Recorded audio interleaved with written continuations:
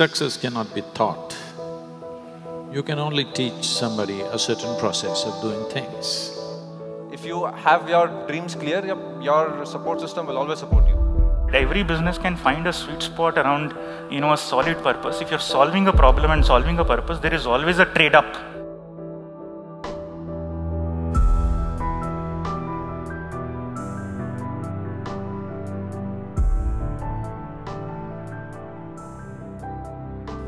Namaskaram and welcome to uh, Isha Insight 2018. This is the seventh edition of Insight.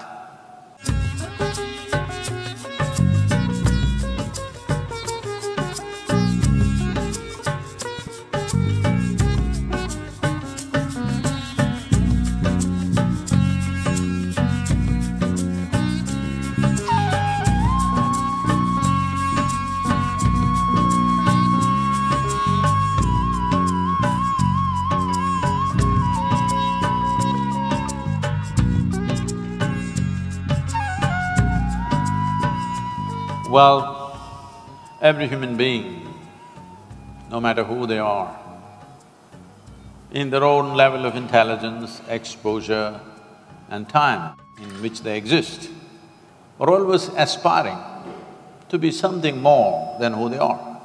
To explore that, in some sense, is insight. This is the nature of a human being. If you pay enough attention, there is no door in the universe that will not open for this creature. It is just a question of how intense this attention is. Sadhguru, you always said that leadership is all about integrity, inspiration, and insight. Uh, if you can actually talk about that. Integrity is not a bunch of values or ethics or certain actions that we take and do not take. Integrity is your commitment is larger than yourself you are committed to a larger well-being, so you will do whatever is needed that is towards the well-being of everybody around you. Inspiration means if people are not inspired, if people are dragging their feet, oh then you had it. If you have to be an inspiration among ten people or hundred people or thousand people, the important thing is you're burning with intensity. Insight means See, once you acquire a leadership position, you must work to sharpen your vision so that if you're sitting up there, when people look up to you, everything that you see is of a little more insight than what they see. So these three are most basic ingredients, integrity, inspiration and insight. Without this, there's no leadership. Leadership is not a position that you take, Leadership is an impression that you've made on other people. First thing is that uh, uh, it's very important uh, to think big and think large. Never think small. In 1998, they posted me as uh, Secretary Tourism because that time nobody had heard of Kerala as a tourism destination. I started building Kerala as a tourism destination, but I said I'll do everything which is an antithesis of the West. And we decided to go to the roots of Kerala. So we brought back traditional Kerala Ayurveda, not as a massage, but as a regimen. We brought back the traditional houseboat of Kerala, where not a single nail is used. We brought back the backwaters of Kerala as a product. We brought back the cuisine of Kerala. We brought it, brought back the traditional Kerala art forms and the traditional Kerala architecture. The Nalkittam houses actually were being sold as firewood uh, we brought them back as the centerpiece of uh, the tourism product. And we converted many poachers into guides in the Periyar Game Sanctuary. If you can think big and large and you can uh, change the status quo. And Kerala became a very high value tourism. Just to give a little bit of background about uh, myself, I, uh, I went to IIT in 2004 uh, for computer science engineering. Finished my engineering, I got a job in Microsoft. Even though I was a good good uh, programmer and a good software engineer, but my heart was never in that uh, job.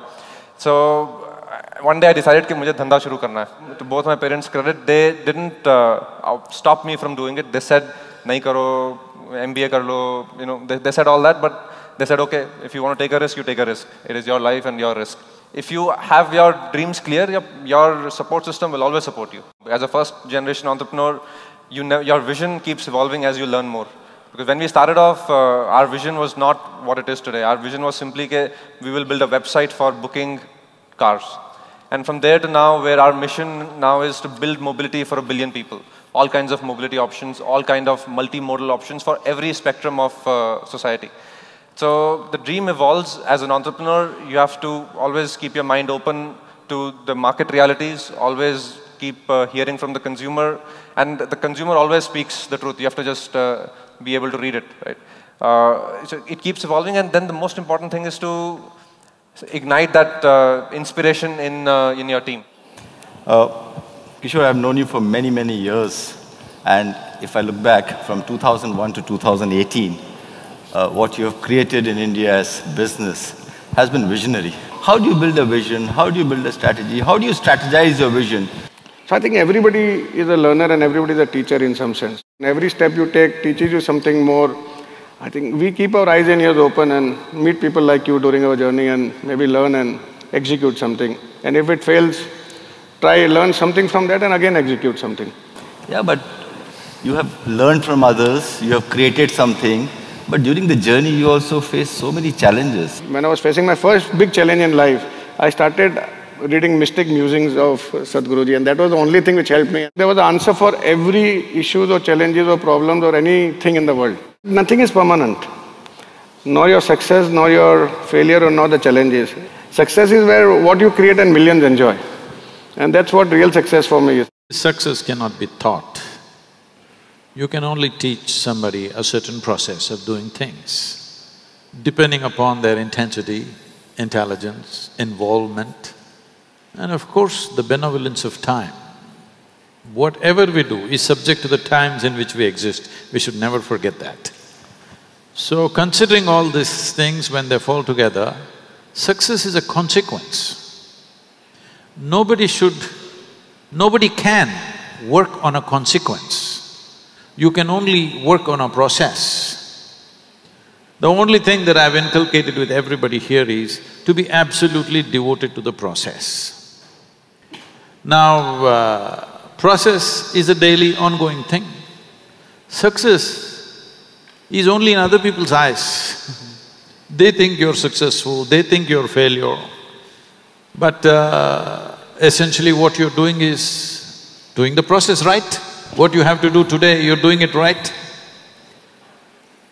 So there is a systemic uh, stability to what we do. And of course, you need a spark of genius. So uh, this is something that everybody should look at. There is a systemic stability, system is like an insurance that you can fall upon always. It would be expecting too much and it, it costs too much to be con continuously sparking with genius. But if there is no spark of genius, system will do mediocre things continuously. If there is too much genius and no system, then you will do spectacular things here and there, but nothing endures. So this is a, a balance which one has to find. I worked with McKinsey uh, for about eight years. Um, every year I was thinking I would want to quit to start out. So I thought if India has to become that superpower in the next 10 years, 20 years, then the backbone of this country, which I thought was logistics, where the materials move, will have to be made stronger. And I started to go deeper into the trucking economy and the trucking sector now. People are saying, you have all the load demand. I don't have the truck driver. Who would want to grow up to have such a poor life? To have a, to become a social outcast? The economy's progress uh, India's progress and the global progress depend on, depends on this problem. How can we make the life human? The problem statement was, we're spending months away from home, can we bring him home the same day? And started experimenting or ideating around a relay trucking model. In a relay trucking model, what happens is, the truck is passed on like a relay baton from a driver to driver, and a driver gets rostered to trucks in a way that every driver comes back home and the trucks keep running all the time. Customers wanted to partner with us because the transit time was very good, uh, cost was lower, And the drivers wanted to come on the platform because they were getting a much better life. So we found this sweet, sweet spot. And I started to believe that every business can find a sweet spot around you know, a solid purpose. If you're solving a problem and solving a purpose, there is always a trade-up. There's a long journey to go. We have now uh, 3,000 known trucks. So we are changing lives of 10,000 drivers who, uh, who do this transit. A million trucks, 46% are actually monthly active users on our platform. Uh, our goal is to make each of them into a relay truck and grow this to, a, to 5 million trucks in the next five years. Thank you so much. The more you give, the more you get. I have experienced myself. I encourage all of you to experience to yourself. Today, a young boy who started working as a coolie in a remote village of Kerala, and for whom having a breakfast was a luxury, runs a company that serves world's best breakfast to million Indians every single day. Let me summarize my messages for you. Build your business on solid ethics. Never compromise on it. Have open dialogue on your values and align your stakeholders. Focus on the spirit of the values, not on the term. Use common sense to solve world's problems and to build better businesses. Be the change you wish to see in this world. If you want people to trust you, you first trust them so that they will trust you back. And finally, money is never ours. We are just custodians of God's wealth. Do not hesitate to share it. Whatever is yours today was somebody else's yesterday and will become somebody else's tomorrow. Let us work together to create this world a better place and to create heaven for others in this world. So you being ahead of somebody doesn't mean a damn thing. The question is only, the life that you are, is it finding full expression? That's an important thing. How is this related to my business? That's always the question. if uh, you think the person who is conducting the business, his quality and his state of being and his ability does not decide the quality of the business, then we know who you are.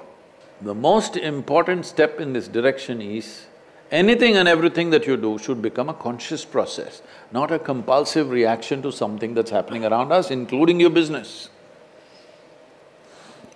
Only then, only then, you will unravel yourself. This is a fundamental transformation every human being has to bring in their life, otherwise you will not see great human beings. If you don't see great human beings, you will not see a great society or a nation. If you don't see great societies and nations, there is no great world and there is no great life. Well, people may be living in palaces, but what's happening in their minds if you look at it? It's absolutely disappointing. I have seen so many billionaire beggars. Yes, because their attitude is still that of a beggar, the same insecurity, the same struggle. Ninety-nine percent of the humanity, unfortunately, they are a issue by themselves. In this condition, how to address the outside issues? This itself is an issue, it keeps you engaged. The possibility of enhancing one's life is very much there and it's not some wild philosophy or some esoteric something that you don't understand. A systematic scientific process is there that if one is willing to involve and pay enough attention and invest enough time and energy in this, enhancement of this life will happen. Isn't this life the most important thing to invest in? Once you are in some way enhanced, anyway your activity will enhance itself. So this is a possibility that every human being must explore.